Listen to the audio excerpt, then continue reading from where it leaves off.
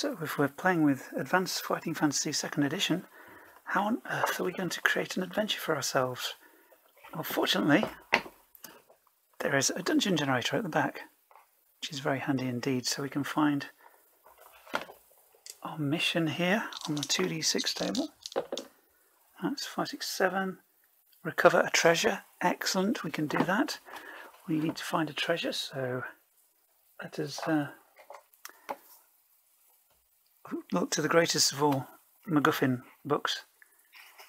So, um, yeah, I think we can roll a d10, find out what kind of thing it is. That's four.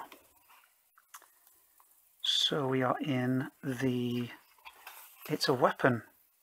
Excellent. And it's a D100, which is 94. 394 is a patchwork sling. A sling made from a patchwork of colourful fabrics. Every missile launched from this sling carries a random mag magic magical effect. The sling was crafted by an enchanter's apprentice. She took her tutor's project scraps and sewed them into a magically unstable sling, which she gifted to her younger brother. Now, clearly, this is a uh, an important item for our uh, our village, perhaps. Perhaps it's been taken. Perhaps it serves as a sort of uh, a sort of lucky charm for the village. And uh, Rhys Trevelyan is going to set off like the hero he is and uh, try and find it. But we need to create the dungeon where it's going to be. And for that, we need a copy of Sorcerer King or any similarly sized box. And we're going to do a dice drop. That's rubbish. I'm going to try that again. I'll just go. Okay, near enough. Let's just squeeze them in a little bit and we'll work with that. So the surrounding terrain, I, uh, it's on an island, okay. And the architecture of this dungeon is special. Worm tunnels, magical excavations. Possibly it was created by a giant sandworm. Um, yeah, okay. So these numbers refer to how many exits. So one or two, there is one. So perhaps this goes to here. There's only one exit here. Okay. And there are three exits here. So perhaps, and two here. So perhaps one goes down here. The other exit goes to here. And there's one across here. And there's another passage going down to here, joining that one up. Okay. And as this is a, a solo game, we're going to discover the contents of the dungeon as we go. So we are descending, having travelled to this island in our little boat, we're descending into these caves under the sandstone on or just off the beach, which were originally carved out by an enormous sandworm. They're a little bit angular, but that's just for my benefit mapping and such. So we have some charts here, we can decide if there is a, a trap or not. So um, we'll do that first of all in this room.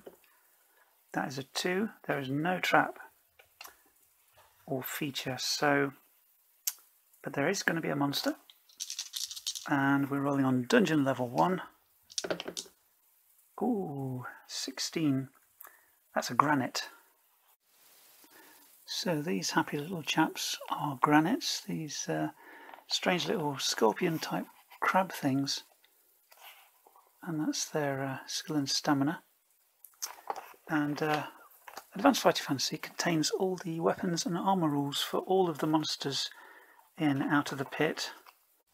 So in accordance with the uh, version 2 rules, the uh, granite has a small bite and medium armour and minuses takes away one from its damage roll. So um, all the rules for all the monsters in Out of the Pit are included in here to uh, adapt them. So we've come face to face with four of these strange crab creatures and we're going to have to uh, have a bit of a fight. So we're fighting multiple enemies here. So I'm going to choose to attack and do damage to uh, the number one granite. So I'm rolling against him, adding my... Hmm. Actually, I think I can get off a bow shot before they close for melee. So with this first round, I'm going to use my bow instead. So that gives me a 9 for that. The uh, granite has a skill of 4. Now the way missile combat works in 2nd edition Advanced Fighting Fantasy is the same as melee, but if the enemy does not have a missile weapon, you don't get damaged if you lose. So I'm uh, I'm rolling. Um, I'm adding 7 for my skill and an extra 2 for my bow skill. So 9, 10, 16.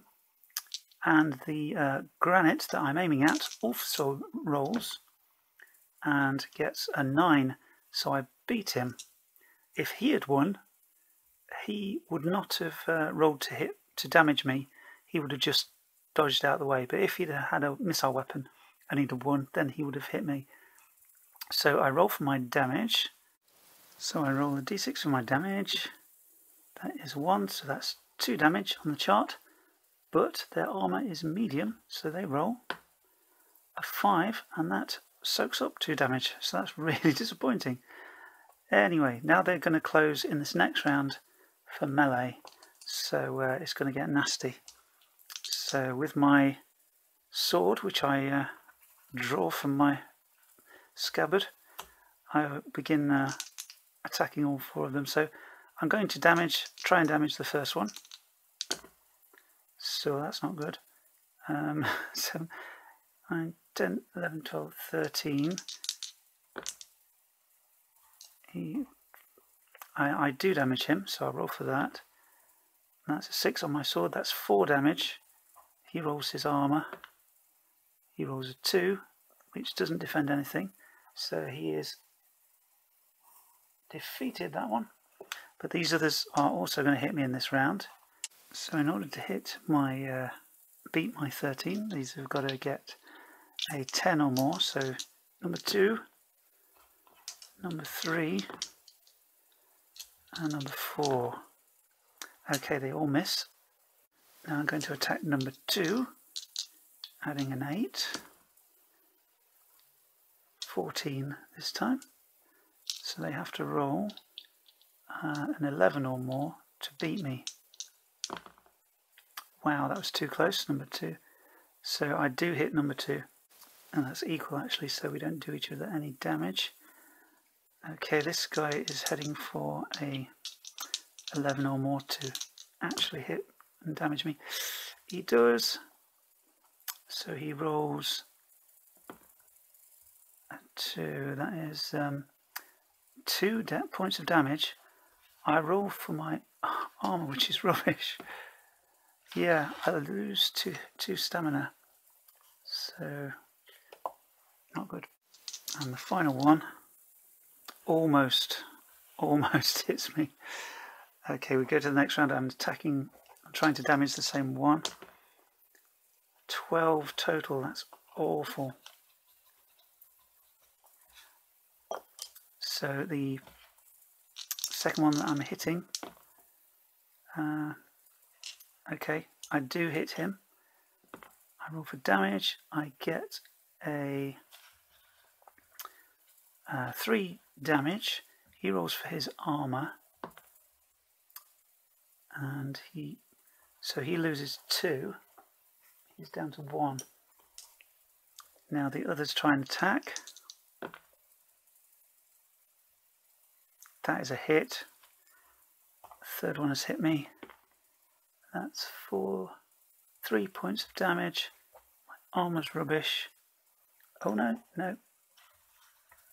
Two points of damage. Could have been worse. And the final one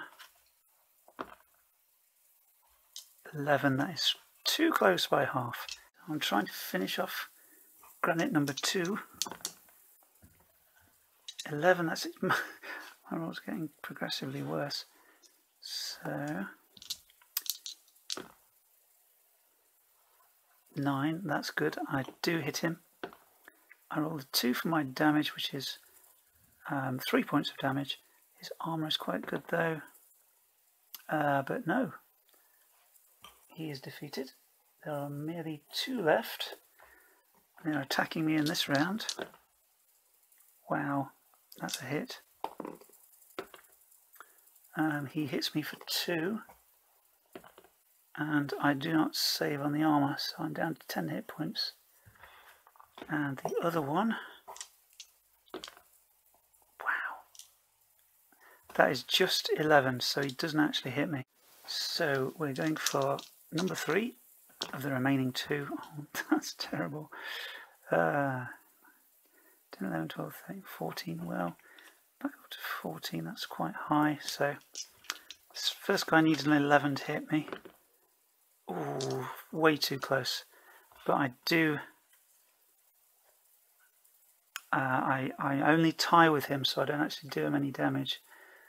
So we the next guy attacks and misses. I'm uh, not doing well. 9, 10, 11, 12, 13, 14 again. This one I'm trying to hit. He gets a 12, so I beat him. And I roll a 2, which is 3 damage. His armour soaks up 2 of that, so he only takes 1 and the other one attacks me and misses. So I'm going through number three again. Uh, 17 that time.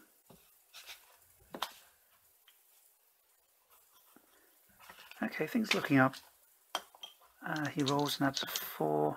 That's a 14. I hit him. I do three points of damage. He rolls for his armour and fails on that. So I wipe him out. There's only one remaining. And he rolls, adds his four, and does not beat me. So I'm faced with the final granite.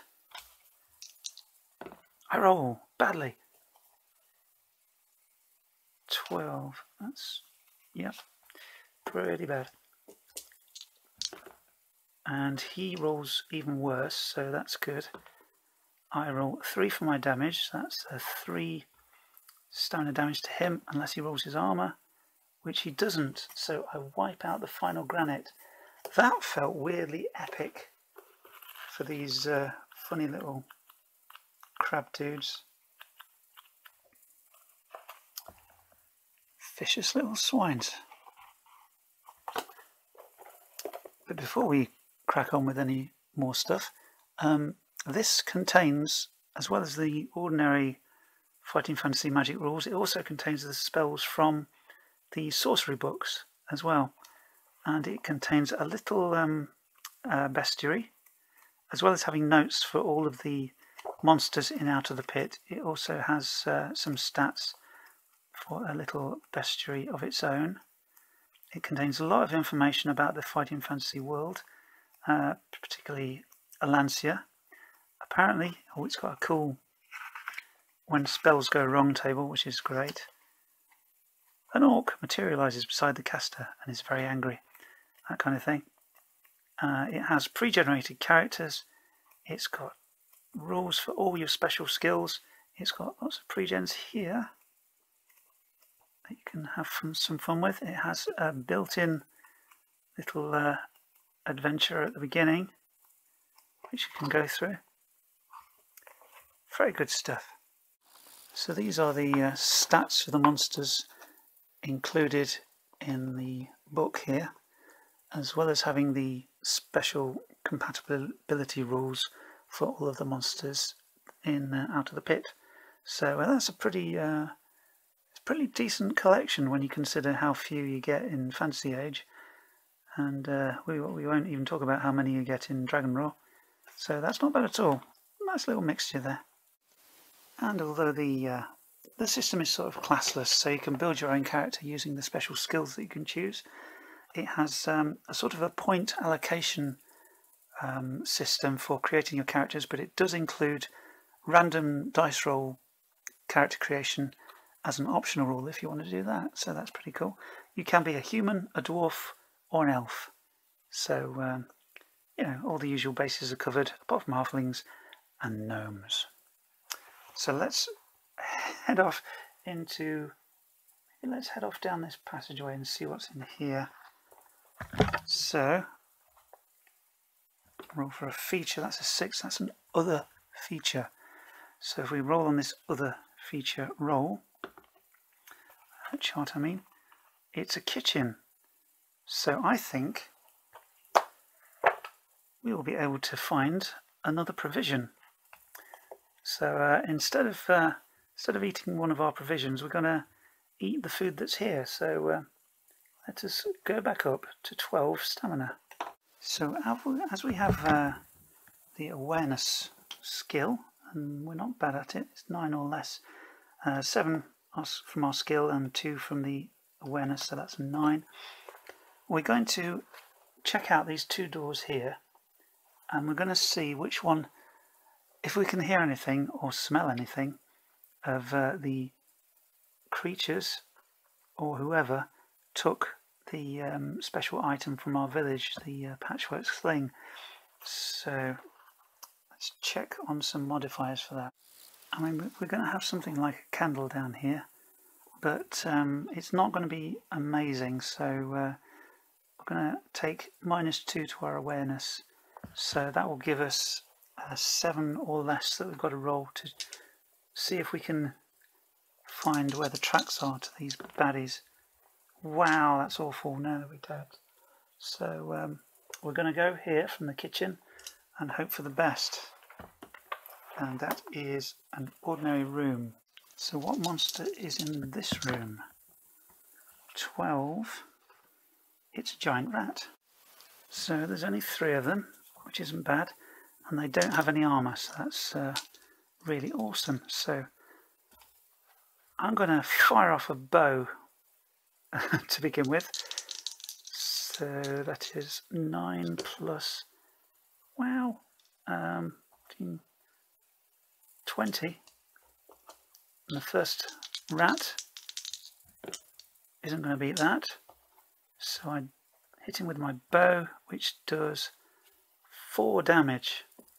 And as he's got no armour, that kills him immediately. Awesome. There are just three left. So now we're going to close for melee and I'm going to fire off, I'm going to start hacking with my sword. That's 8 plus 12.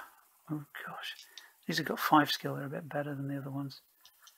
So, first one of the survivors gets a 10. So I actually do damage that one because I'm attacking that one. I roll a 1 but that gives me two damage and that reduces him a little bit. The other one, which I'm not hitting,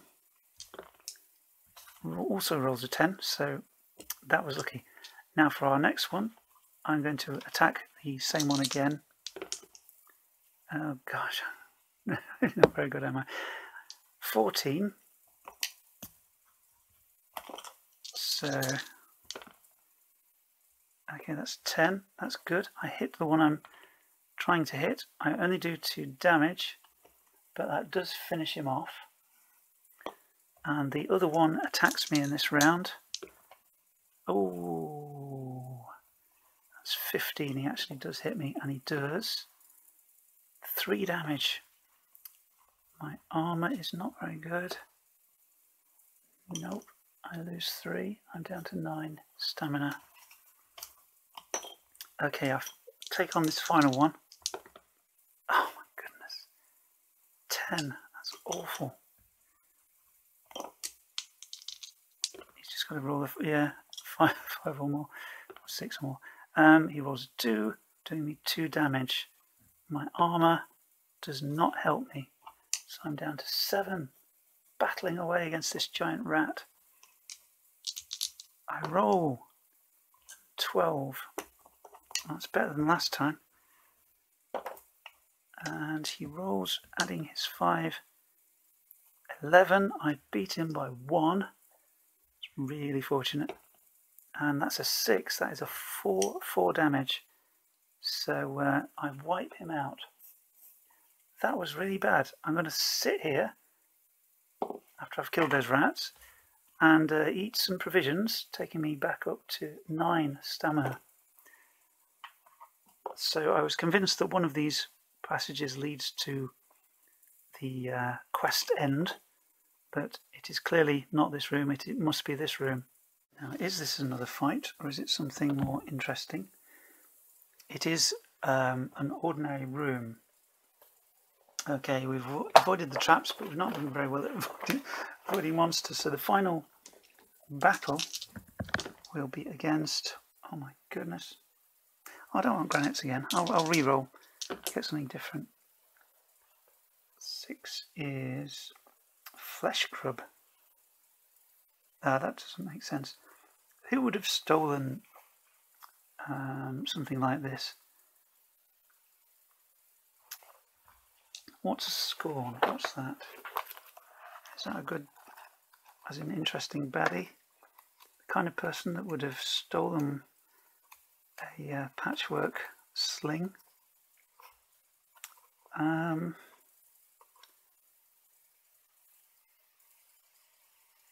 no, it's not not particularly uh, intimidating. Just over a meter high. It's not. Um, let's say with those giant rats. Let's say it's a rat man that has stolen this item, and uh, he's the uh, person we've got to defeat to get it back. Okay, I rolled for six of them, so I don't like my chances. I'm going to try and negotiate. Now, a sling is worth three gold pieces and uh, two gold pieces in a village. This is a patchwork sling, although it is magic, it does look like a patchwork sling. I have nine gold pieces. Uh, I don't want to fight them. I think nine gold pieces is reasonable for a sling. It looks like a quirky sling. They probably don't know it's magical, but they are unfriendly. I think it is a reasonable offer. Let's say acceptable. Uh, but we're going to get a minus three. Hmm. Yeah, the fact that they're unfriendly will give us a minus 3. That will be 4 or less on a D on 2d6. Um, I'm going to offer them my potion of stamina as well. So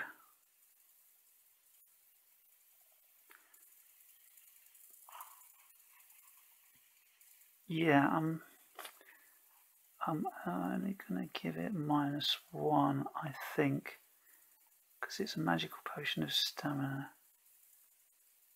I'm going to give it minus one all told, so six or less.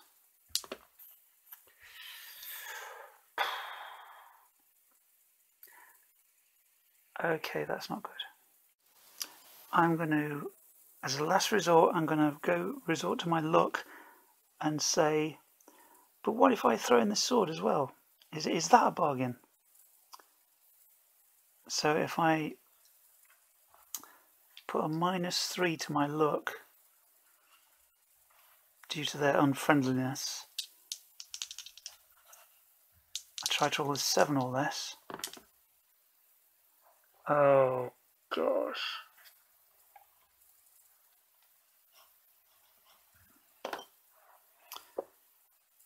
This fight's not going to end well.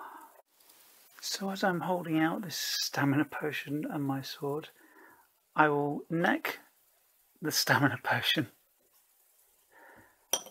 and attack them with my sword because that's the only way this is going to go. Okay, that's a 17, that's a good start. I'm attacking the first one. He rolls a 15.